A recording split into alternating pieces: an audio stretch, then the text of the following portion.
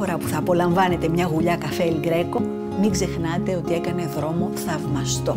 Διέσχισε ερήμους και θαλάσσιους πόντους, δοκιμάστηκε σκληρά και έγινε τέχνη για να φτάσει στο φλιτζάνι σας. Στην υγειά σας λοιπόν.